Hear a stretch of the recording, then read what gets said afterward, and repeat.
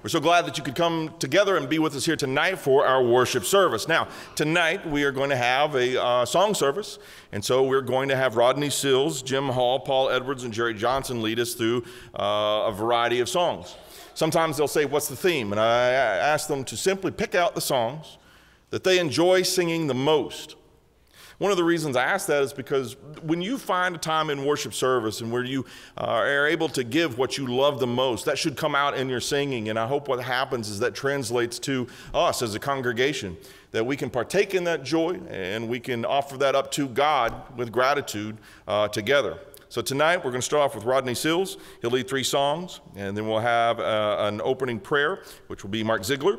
Uh, Jim Hall will lead, then Paul Edwards, Jerry Johnson. Uh, Caleb Sills will be reading uh, the scriptures, 1 John chapter 3, verses 16 through 18. I will give a short message. Uh, we'll have some announcements at the end, and after the closing song, Hold to God's Unchanging Hand, uh, Ray Justice will lead us in a closing prayer. Of course, later on, we'll offer communion to those who need it as well. So, tonight, I hope you got your voices ready. I hope you're ready to sing out and do it with great joy and enthusiasm. Ronnie?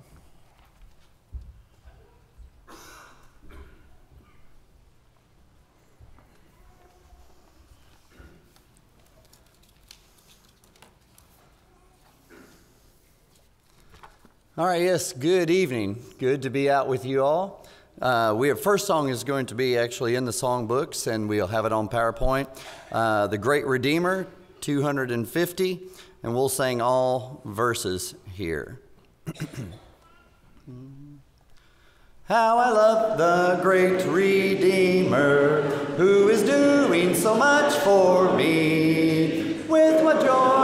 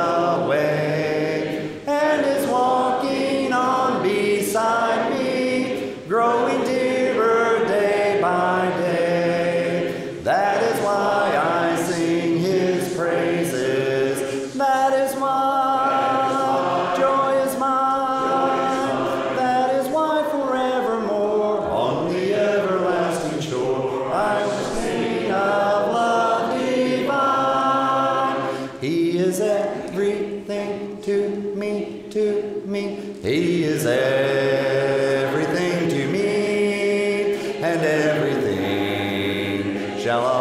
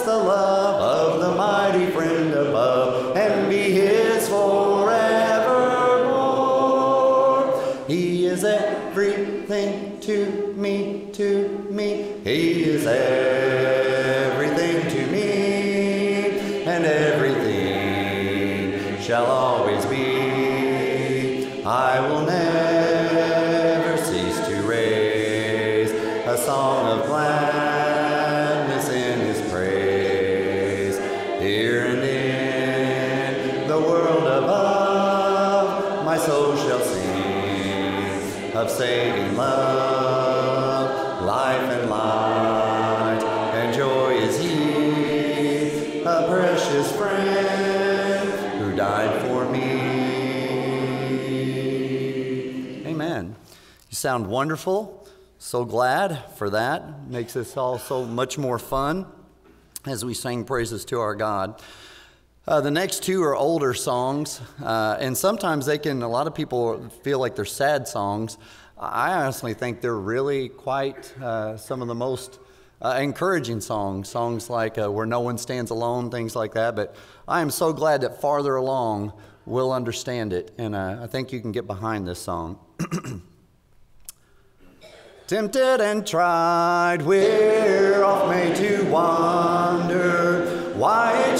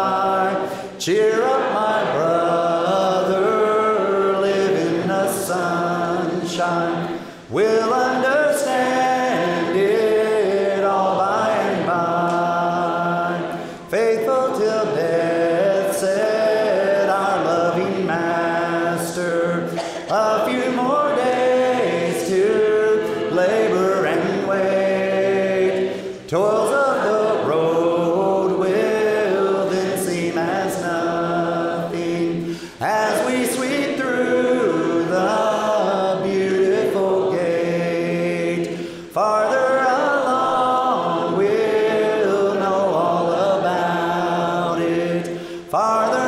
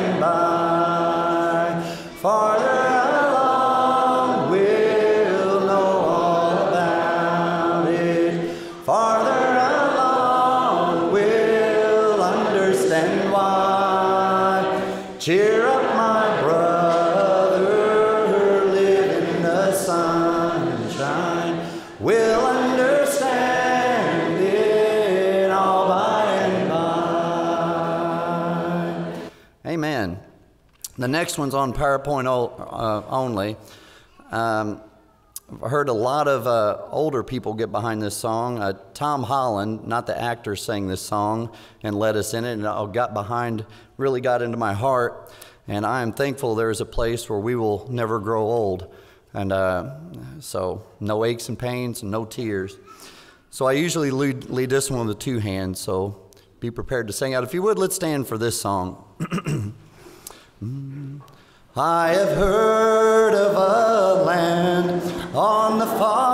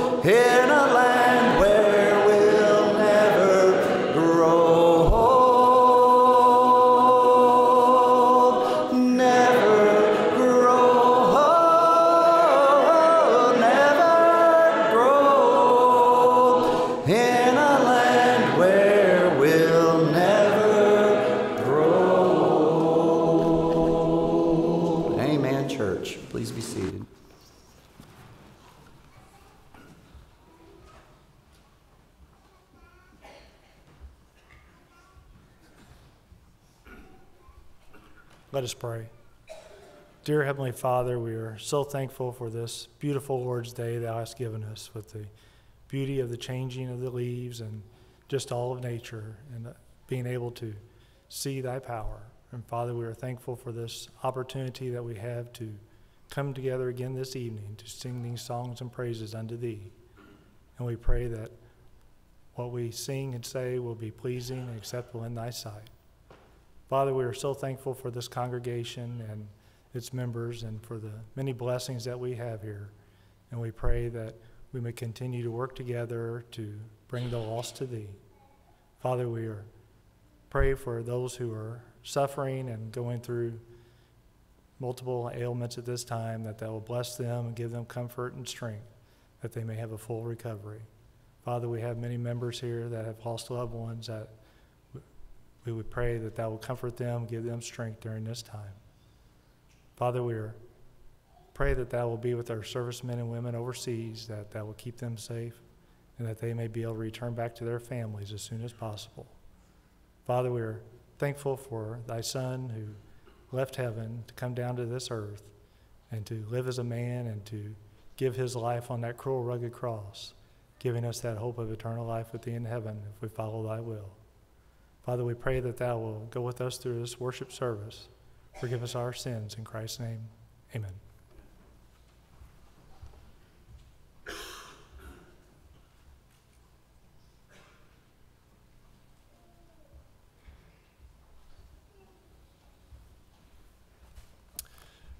Good evening. The next song this evening is going to be number 869 if you're using your books. Uh, We're marching to Zion, number 869.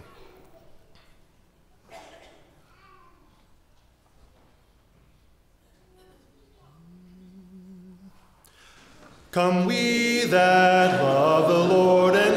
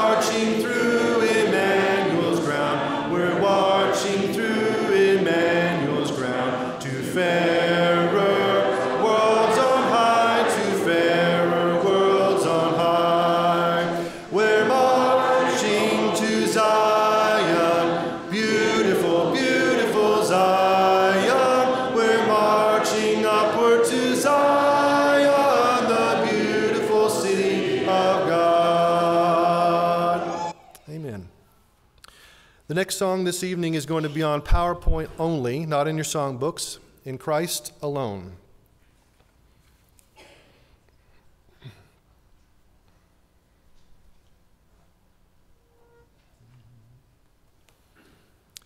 In Christ alone my hope is found. He is my light, my strength.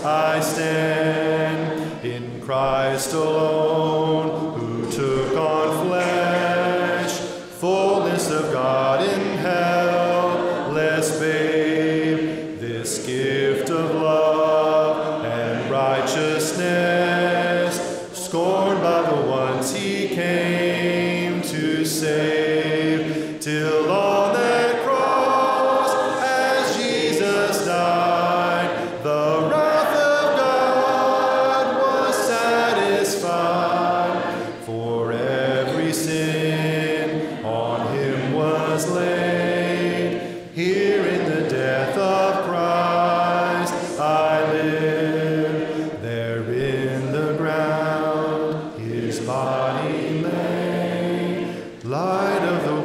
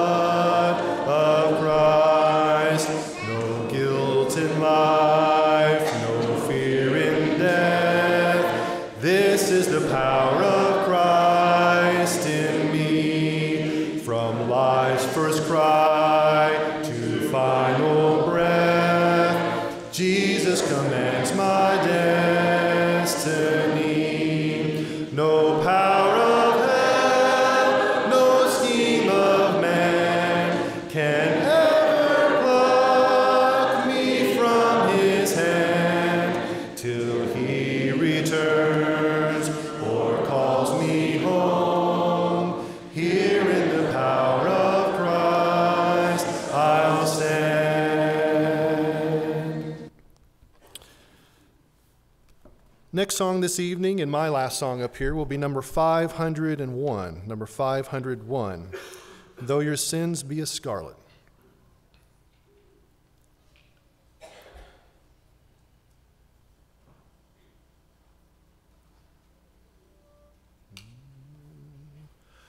Though your sins be as scarlet, they shall be as white as snow. scarlet, they shall be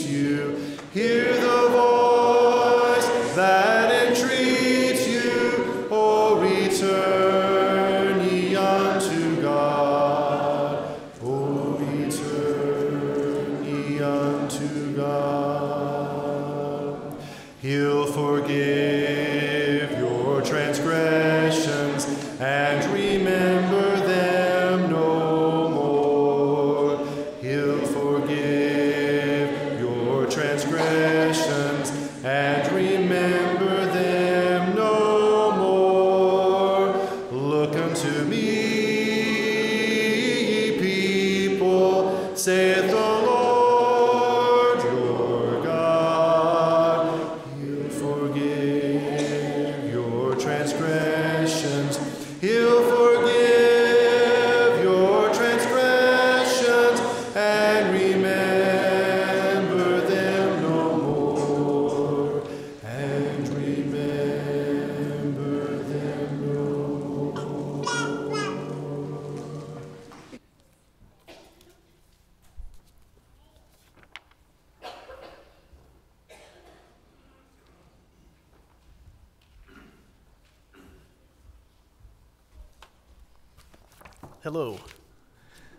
got lucky with Jim and you didn't have to stand with him because I hated to have you stand for this song right after you sat down, but we're going to stand for this song. So please stand for this song and sing out. This is one everybody knows.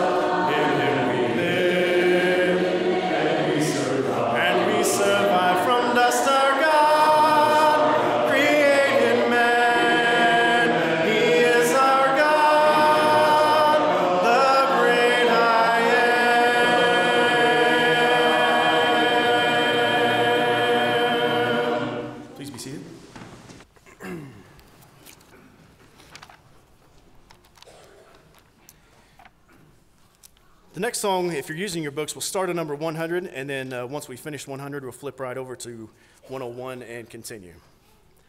For everybody else using the PowerPoint, sit there and sing.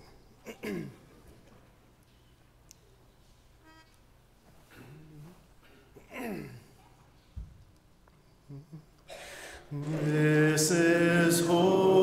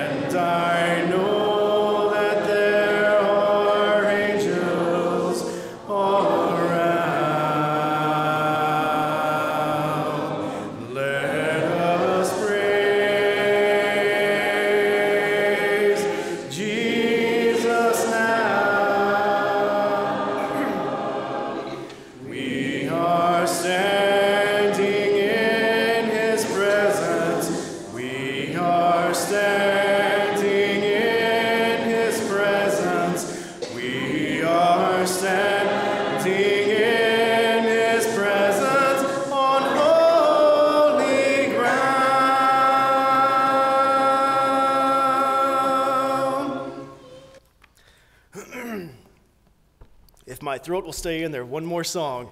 Mark, I've got to make this worthy, worth, worth it for you. We have a new slide. Uh, we have purchased this song. This is called Just As I Am, I Come Broken. The Just As I Am part, everybody's going to know. The I Come Broken part, some of you are going to know. The some of you that know this, I really need you to sing out. So here we go.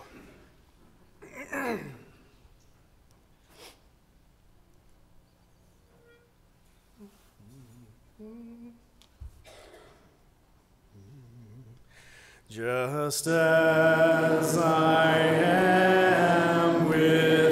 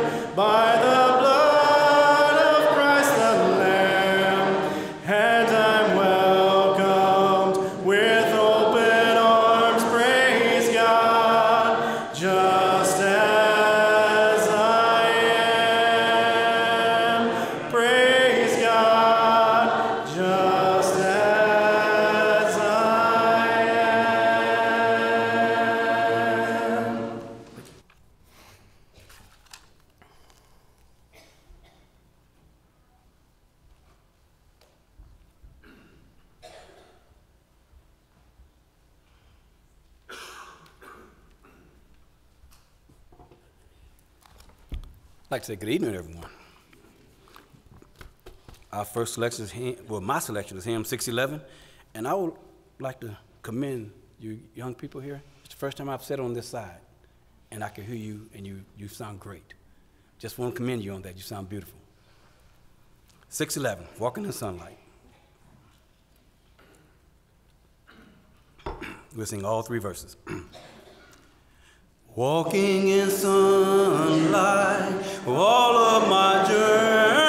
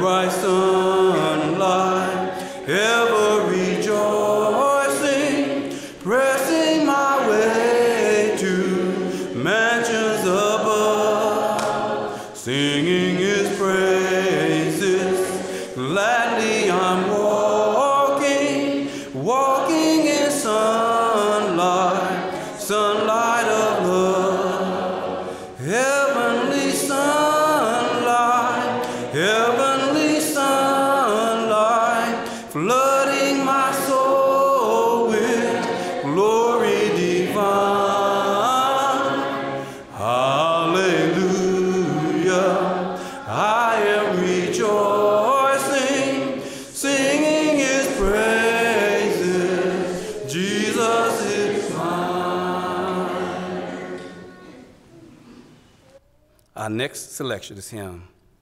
Well, it's not hymn. It's in PowerPoint only. Salvation has been brought down.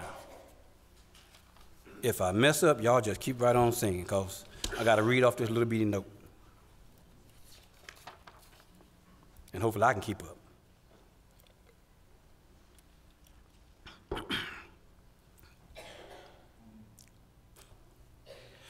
Jesus gave his life for ransom yonder on Calvary.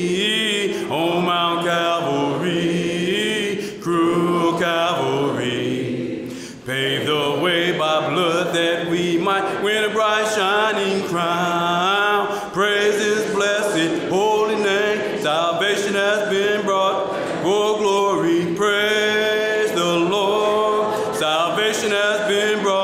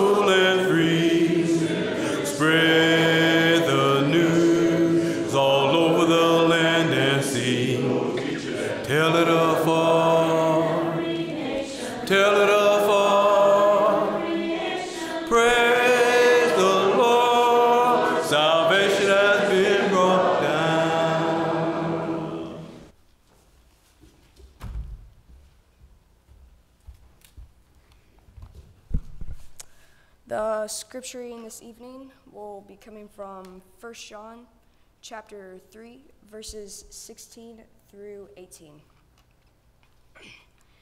This is how we have come to know love. He laid his life down for us. We should also lay down our lives for our brothers and sisters. If anyone is this world's good, good and sees a fellow believer in need but withholds compassion from him, how does God's love reside in him? Little children, let us not love in word or speech, but in action and in truth.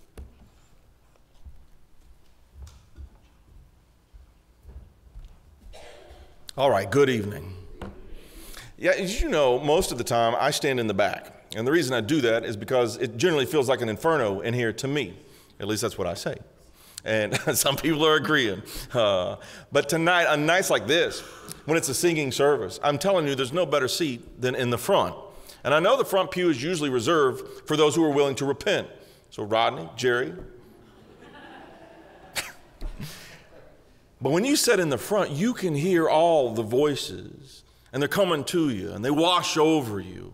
And it reminds you what a joy it is to be able to sing, what a joy it is to be able to praise and to be able to worship God and to hear all the voices together in the church as one praising God. What a blessed life we have as Christians. And so I want that to be our thought tonight. What manner of life do we have as Christians? What blessed life we have as Christians. When we know and we feel and we experience the mercies of God on a daily basis, what manner of life do we have as Christians?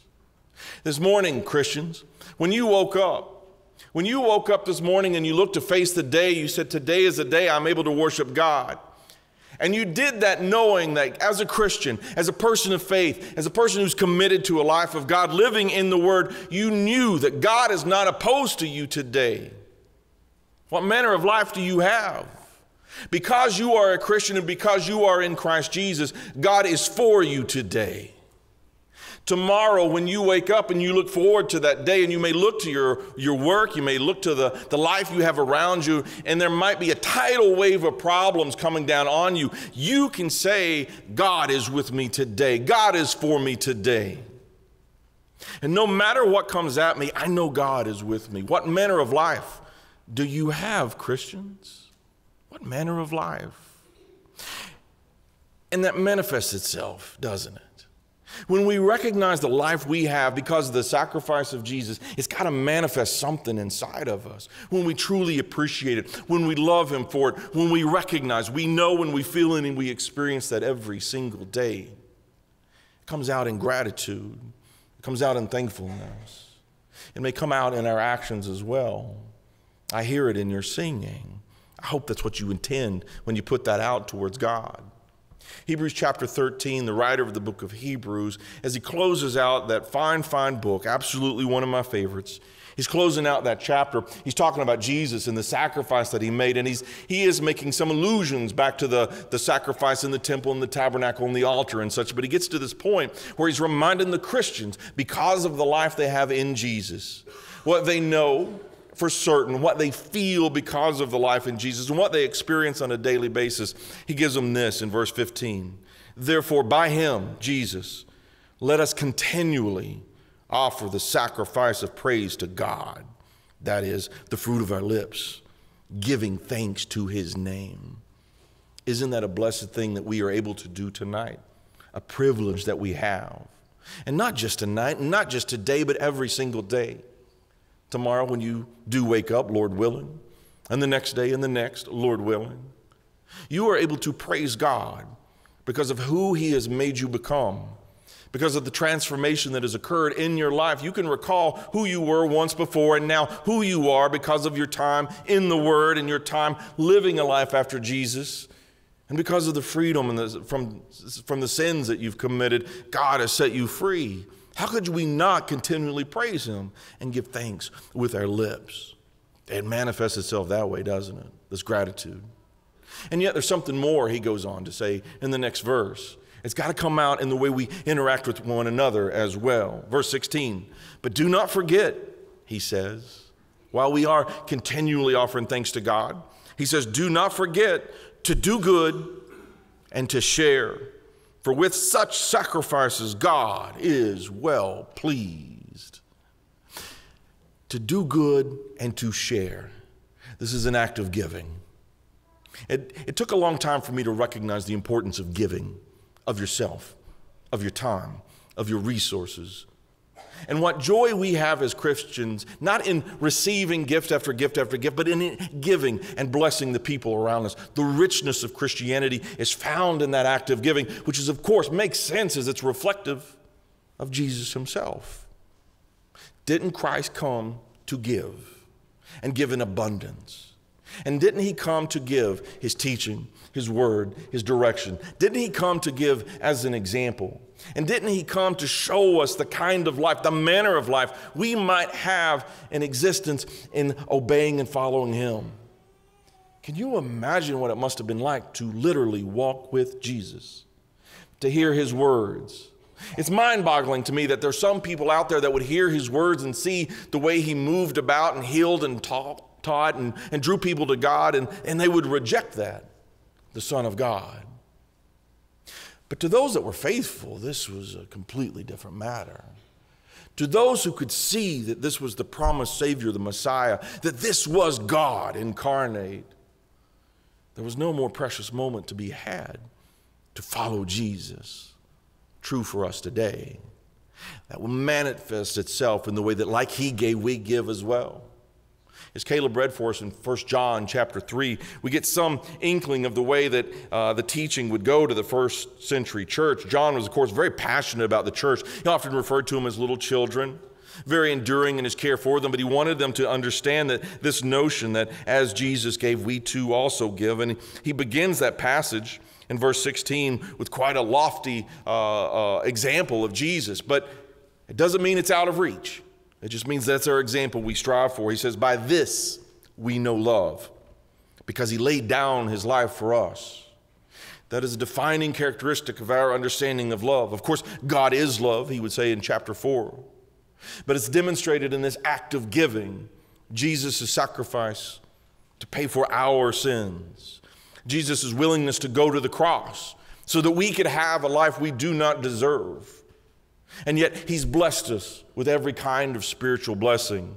And though we did not deserve it, He gives us everything that we need continually, even the hope and the promise of heaven. We have that because Jesus gave His life. And He says we also ought to lay down our lives for the brethren. Lofty, but possible. And that's an attitude we have to hold on to, our willingness to give to even that degree. He qualifies it even on the day to day practical level because you may sit around and go, Well, it looks like no one's losing their life today, so I don't know how to do this kind of love. But on the daily practical interactions that we have, he says, Whoever has this world's goods, if you've been blessed by God with this world's goods, and if you see a brother in need and you shut up your heart from him, how does the love of God abide in him? He's saying, Those of us that have been blessed with abundance, we need to give in abundance. And it may be sacrificial, but even yet, this is how you demonstrate the love of God on a day to day basis. Yes, and the huge examples and events that may come where you literally may need to give your life. And many people do. But even in what might appear quite small, and the interactions that you have with people, that you don't treat them lightly or inconsequentially, you give. And then you give some more. And then you give a little bit more. Maybe you've had a waitress at a restaurant or a waiter and it looks like they're having a rough time. Maybe they've even messed up your order and you have every reason to say, Yeah, I'm going to tip them. Man, I only got one drink. I don't even like the system of tipping. But you know it's the norm, you know it's a thing. And wouldn't it be better to give? Maybe. And maybe it would be better to give a little bit more. Or maybe you see someone that needs a little bit of help and you say, I'm too busy, I haven't got time. But wait, Maybe it would be better to demonstrate Jesus in the way you give your time, even when it's not convenient, even in the daily practical ways. Of course, there's other examples. Well, when you can consider the things on a personal level that you may have. I know a person, a family, I'm not going to name them, I'm not going to tell you where they are because they would, they would hate that. They would. But they've been blessed with a certain bit of property, and they've been blessed with the skills to grow crops and things on that property. And they look around their community and they say, listen, there's people that are in need. We have abundance and we have skill, and God's good to us. So they've determined to expand their crops, not for profit, but so that they can reach out to their community and say, listen, I know you're in need. Can we give to you? They're not doing it to brag, they're not doing it to lift themselves up. I know this because they're going to do it through the church so that the church gets the credit and God gets the praise. But it's people looking at a, a, daily existence of what they do have in a way that they can reach out and make a difference and show incredible kindness and, and some sacrifice because they're putting in the work. And some of their neighbors might be criminals, might not deserve it, but they're still going to give. And some of their neighbors might be lazy. It'd be easy to say they don't deserve it, but they're still going to give.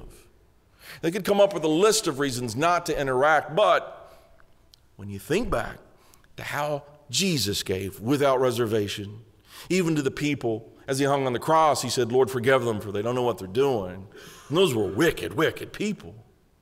And even when Jesus created the church, he knew some people would corrupt it and he knew some people would walk astray, and yet he still created and gave himself, shed his blood for that perfect thing, the church, because there would be some people, the faithful, who would dive into it with, with great passion and rejoice in being a part of the church. And he gave us a way to live and to walk with purpose. And sure, there would be some way that someone would try to mess it up, but it wasn't about them. It was about the people who would follow and walk after him and obeying Him and giving as He did makes all the difference in the world. That's how it manifests. What manner of life do you have? It's fantastic, Christian. It's utterly fantastic. Many of us come from different backgrounds and we live in different stations to life and we have different uh, socioeconomic standings and we have different levels of education. Irrelevant, utterly irrelevant in your capacity to give based on what God has given you your love of God can exceed and excel and be a bright light in the world. That is how you manifest great appreciation and gratitude with your lips as we sing and we praise, certainly as we pray, but in the way that you live every day, echoing Jesus and his sacrifice, and you're willing to, to uh, participate in that. Tonight, I want you to stop and consider where you are in your relationship with Jesus. He may be very, very far away from you, it seems but he's not far. He's very close. He's as close as you making the choice to obey him. He may seem very far because you were once a Christian and you've turned away, and maybe in many ways you've, you've atrophied your faith and you've grown quite distant yourself because you chose to walk away and you're like, why would Jesus take me back? Because he's the Savior, he's the Messiah, and he loves you so, so very much. You can be quite close if you choose to be. God is willing to forgive. God is willing to listen. God is willing to hear. And the church is willing to help you in any way they can. Even tonight, if you're not yet a Christian, know that you can be. And know that if there's anything we can do for you, we'll be glad to help. Tonight, if there's some way we can serve you, to help you, to love you, to praise God with you, we'll do it. Come forward as we stand and as we sing.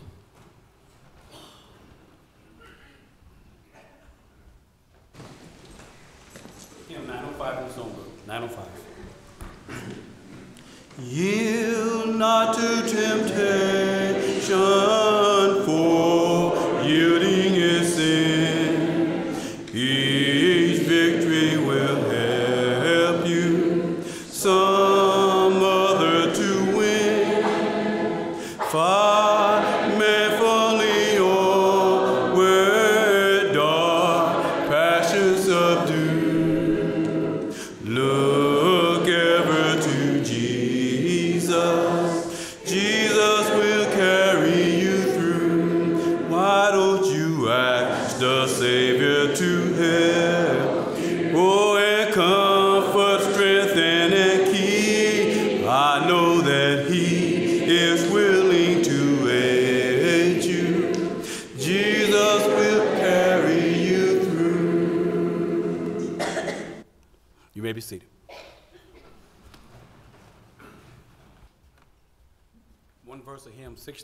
and if you would ask that you stand with me and remain standing for prayer. Time is filled with swift transition. Not of earth unmoved can stand. Build your hopes on things eternal. Hope to God's unchanging hand.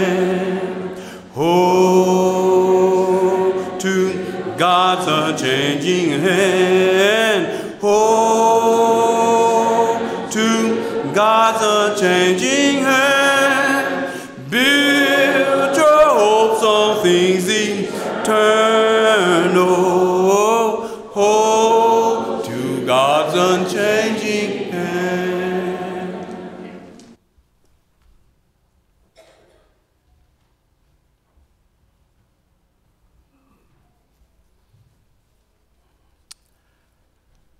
For about 60 minutes now, running through the back roads of my mind is the chorus of a song you may remember. Perhaps the word hold to his hand comes to mind. If you're not uncomfortable with it, would you mind reaching over and taking the hand of someone who is sitting or standing next to you? And if you're uncomfortable, it's okay not to do that. The course of that song goes like this as we pray. Hand in hand, we walk each day. Hand in hand, we walk along the way. Walking thus, I cannot stray, hand in hand with Jesus. Holy Father, as we hold each other's hands, we ask you to be with us and continue to walk with us as we individually and collectively step into the week ahead. Help us to be your ambassador, your reflection, and the way we live. In Jesus' name I pray. Amen.